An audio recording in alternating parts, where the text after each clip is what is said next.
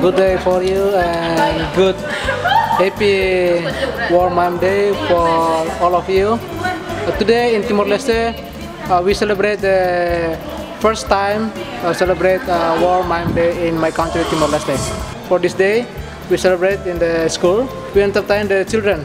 Children are very happy. They all of the member they happy. And for this moment, uh, I would like to say uh, thanks for the uh, all mime group in the in the world.